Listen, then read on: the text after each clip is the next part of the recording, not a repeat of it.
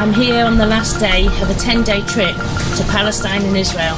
Looking for time, you can make a statement. Looking for a place, you can lay your head and no one's there to control. I'm here as a representative of the East Midlands Synod, accompanying 21 other people from Church House, from different synods, from roles within the United Reformed Church, following the mandate given to us in the resolution in General Assembly 2016.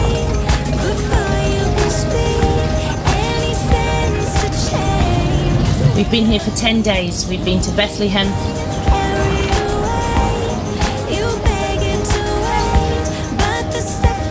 to Jerusalem, and now we're here in Tiberias.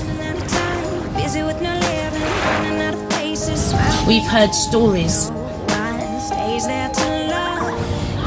we've met people, we've done Bible study following in Jesus' footsteps and thinking about what it's like to be a people under occupation.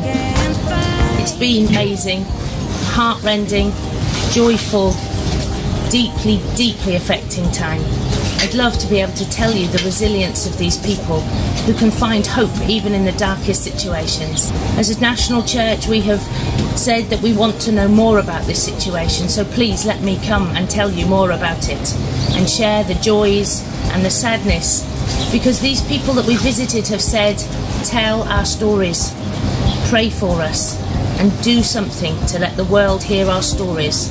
My name is Jenny Mills and I'm a minister at Newport Pagnell United Reformed Church and in Wolverton West End United Church.